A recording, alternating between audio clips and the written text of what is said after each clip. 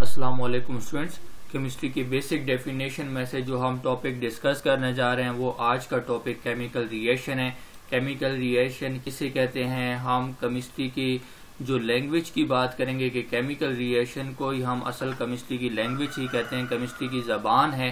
Chemistry को अगर हमें समझना चाहते हैं तो हमें समझने के लिए केमिकल रिएक्शन को समझना होता है। जब हमें केमिकल रिएक्शन की समझ आ जाती है, तब हम केमिस्ट्री को समझ पाते हैं। अब ये केमिकल रिएक्शन होते क्या हैं? हम देखते हैं कि रोज़मर्रा ज़िंदगी में या हम लैब में कोई एक्सपेरिमेंट करते हैं, किसी दो दो या दो से ज़्यादा चीज़ों को मिलाते हैं तो उनमें कोई ना कोई चेंज आ रहा होता है। अब वो जो चेंज आता है, वो कोई ना कोई उनके अंदर केमिकल रिएक्शन हो रहा था वो आपस में रिएक्ट कर रहे होते हैं।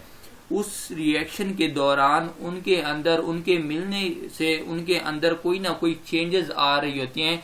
वो जो चेंजेस आ रही होती हैं, उनको हम क्या कहते हैं? केमिकल रिएक्शन कहते हैं। जब हम किसी दो या दो से ज़्यादा चीज़ों को मिलाते हैं, उनके अंदर कुछ चेंजेस आना शुरू हो जाती है और चेंज होके कोई नई चीज़ बना देते हैं, कोई न्यू सब्सटेंस बना देते हैं, कोई नया कंपाउंड बना देते हैं। अब वो जो नया सब्सटेंस बनता है, नया कंपाउंड बनता है वो कुछ ऐसी चेंजेस आती हैं जिनकी वजह से हमारे पास जो पुरानी चीज़ें थी वो अपनी शनाख्त खो देते हैं और अपनी शनाख्त खो कर वो किसी नई चीज़ में बदल जाते हैं और नई चीज़ बना देते हैं और उनकी जो पहले प्रॉपर्टी थी, वो प्रॉपर्टी खत्म हो जाती है। अब ये नई केमिकल प्रॉपर्टीज़ भी अडॉप्ट कर लेते हैं और नई फ़िज़िकल प्रॉपर्टीज़ भी अडॉप्ट कर लेते हैं। अब इसी केमिकल रिएक्शन में हम देखते हैं कि जब भी हम किसी दो या दो से ज़्यादा चीज़ों को आपस में मिलाते हैं तो उनमें किस तरह की चेंजेस आती हैं? पहले तो ये होता है कि जब हम किसी दो या दो से ज़्यादा चीज़ों को मिलाते हैं। तो फ़र्स्ट तो हमारे पास है कि उसके अंदर जितने भी पुराने बॉन्ड्स है ओल्ड बॉन्ड्स होते हैं हमारे पास, वो ब्रेक करना स्टार्ट कर देते हैं। वो टूटना शुरू कर देते हैं। और जब नई चीज़ बनती है तो उसके अंदर जो न्यू बॉन्ड्स होते हैं, नए बॉन्ड उनमें बनना शुरू हो जाते हैं। नए बॉन्ड्स की फॉर्मेशन हो जाती है और पुराने बॉन्ड्स टूटना स्टार्ट कर देते हैं। अब ये जो चेंज हम देख रहे हैं, ये पुराने बॉन्ड्स का टूटना और नए बॉन्ड्स का बनना, इसी को ही हम क्या कहते हैं केमिकल रिएक्शन कहते हैं, जिससे हम एक ही मैटर को दूसरे मैटर में बदल देते हैं, उसको कन्वर्ट कर देते हैं, जिससे हम नई नई चीज़ें बनाते हैं, हम पुराने मैटर को चेंज करके पुराने मैटर को किसी नई चीज़ में ले आते हैं। तो ये सारा का काम हमारे पास किसके ज़रिए होता है? केमिकल रिएक्शन ही है, वो कहलाता है केमिकल रिएक्शन यानी केमिस्ट्री की बदौलत ही है। तो हम जो केमिस्ट्री की जबान जो समझना चाहते हैं, वो केमिस्ट्री की जबान असल में केमिकल रिएक्शन ही है। केमिकल रिएक्शंस के दौरान हम देखते हैं कि ये एक ऐसा प्रोसेस है जिसमें दो या मोर देन टू या दो से ज़्यादा सब्सटेंसेस आपस में इंटरएक्ट करती हैं। इंटरेक्ट करने के बाद इनके अंदर जो ओल्ड बॉन्ड्स होते हैं, वो टूट जाते हैं ब्रेक करना स्टार्ट कर देते हैं और जो न्यू बॉन्ड्स होते हैं, वो बनना स्टार्ट हो जाते हैं और नए बॉन्ड्स बनना स्टार्ट हो जाते हैं। जब भी आप बॉन्ड्स को ब्रेक करवाएँगे तो उसके लिए एनर्जी दरकार होती है। और जब भी कोई नया बॉन्ड बनेगा तो वो एनर्जी रिलीज़ करेगा। तो हम देख सकते हैं कि इसके अंदर एनर्जी का भी चेंज आ रहा होता है एनर्जी भी चेंज हो रही होती है। अब एग्ज़ाम्पल के तौर पर अगर हम देखें कि ये किस तरह हमारे पास होता है, मिसाल के तौर पर मेरे पास पानी का मालिक्यूल बनता है। H2 और प्लस O2 है मेरे पास। और ये बनाता है H2O मालिक्यूल बनाता है। यहाँ पे इसको बैलेंस करने के लिए हम हाफ़ लगा देते हैं, क्योंकि प्रोडक्ट में एक ऑक्सीजन है तो रिएक्टेंट में भी एक ही ऑक्सीजन आइटम होना चाहिए। हम इसके साथ हाफ़ लगा देते हैं टू टू के साथ कैंसिल हो जाता है।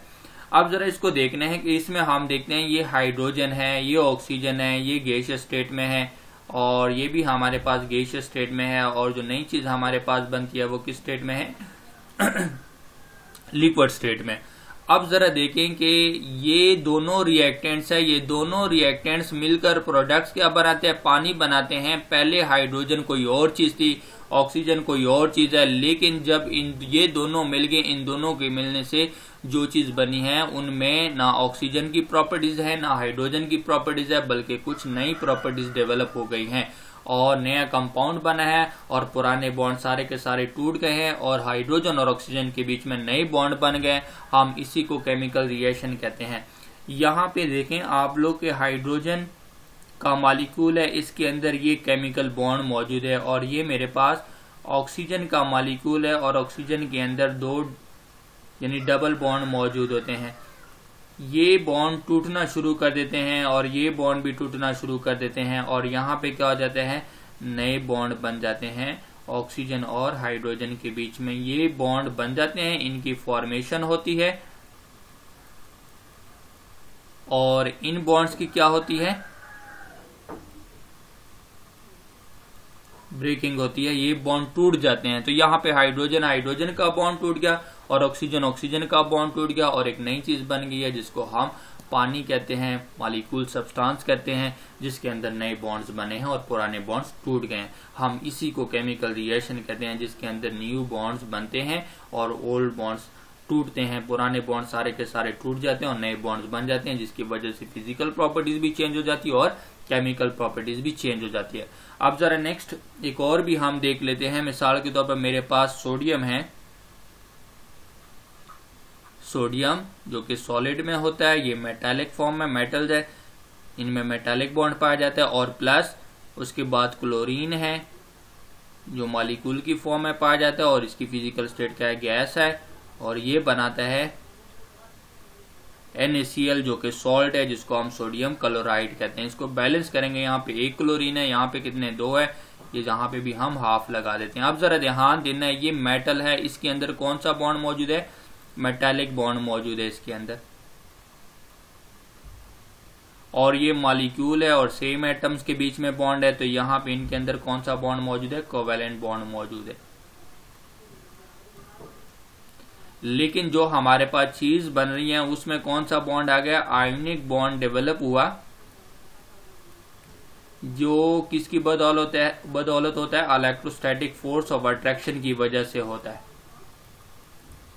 इसमें इलेक्ट्रोस्टैटिक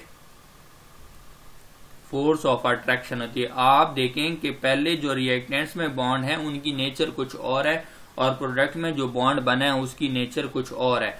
तो हम देखते हैं कि हमने मेटल का रिएक्शन यहाँ पे क्लोरीन यानी मालिकूल के साथ करवाया, जिसके अंदर कोवेलेंट बॉन्ड मौजूद है और हमें जो कंपाउंड मिला है, वो कौन सा मिला है? आयनिक कंपाउंड जिसको हम सॉल्ट कहते हैं।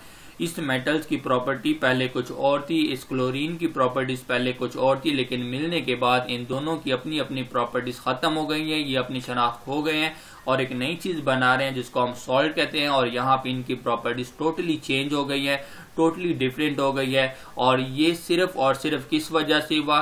कि पहले जो इनके बीच में केमिकल बॉन्ड्स थे, पहले जो ये आपस में इनके एटम जुड़े हुए थे, वो सारे के सारे बॉन्ड्स टूटना शुरू कर गए और यही सोडियम और यही क्लोरीन आपस में मिलके नया बॉन्ड इन्होंने डेवलप किया, नई प्रॉपर्टीज़ डेवलप की, नई केमिकल प्रॉपर्टीज़ डेवलप की और नई फ़िज़िकल प्रॉपर्टीज़ डेवलप की।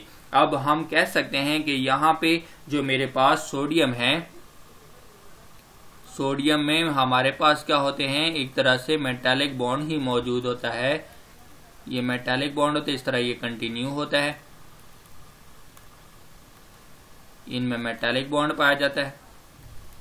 ठीक है? और क्लोरीन में हमारे पास कौन सा बॉन्ड मौजूद है? ये मालिकुल की फॉर्म है, ये कोवेलेंट बॉन्ड इसमें मौजूद है।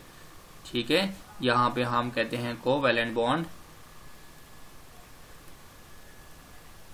और ये मेरे पास क्या है? मेटालिक बॉन्ड है।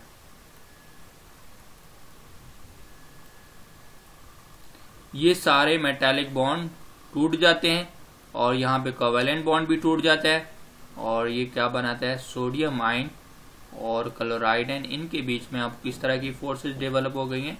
Electrostatic force of attraction develop हो गई हैं और ये कौन सा बॉन्ड बना? आयोनिक बॉन्ड बना। ठीक है? तो हम देख सकते हैं कि पुराने बॉन्ड सारे के सारे टूट गए और नए बॉन्ड बन गए और इसी को हम केमिकल रिएक्शन कहते हैं, जिसमें न्यू बॉन्ड्स बनते हैं और पुराने बॉन्ड्स टूटते हैं और ये केमिस्ट्री की लैंग्वेज है। जब हम केमिकल रिएक्शन को समझ लेते हैं, तब तो हमें केमिस्ट्री की समझ आना शुरू हो जाती है। उम्मीद है आप लोगों को इस लेक्चर की समझ आ गई होगी। इस लेक्चर को लाइक करें शेयर करें और हमारे चैनल को सब्सक्राइब करें। अपना ख्याल रखिएगा। अल्लाह हाफिज़।